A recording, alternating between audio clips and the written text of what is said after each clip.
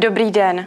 V zimních měsících se v předpovědi počasí můžete dočíst, že v nižších polohách budou srážky dešťové, ve středních smíšené a ve vyšších a horských polohách sněhové.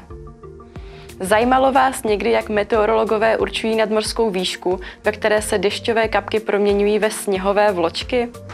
Pro pojmenování této výšky používáme termín hranice sněžení. Pro určení hranice sněžení je důležitá výška nulové izotermy. Ta nám říká, jak vysoko v atmosféře je teplota vzduchu pod bodem mrazu. Pod nulovou izotermou už sněhové vločky tají a mění se na déšť. Neplatí to ale vždycky. Výška nulové izotermy se nemusí shodovat s hranicí sněžení. Třeba když sněží silně, tak vločky stihnou propadnout i do míst, kde je teplota nad nulou. Prací meteorologa je určit hranici sněžení co nejpřesněji a popsat v předpovědi počasí.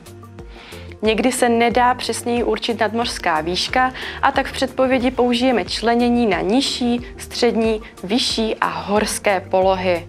Toto rozdělení vychází z převládajících nadmořských výšek v Česku. Hranice sněžení tedy udává nadmořskou výšku, od které už místo dešťových kapek uvidíte sněhové vločky. Hranice sněžení se v zimní předpovědi počasí objevuje opravdu často.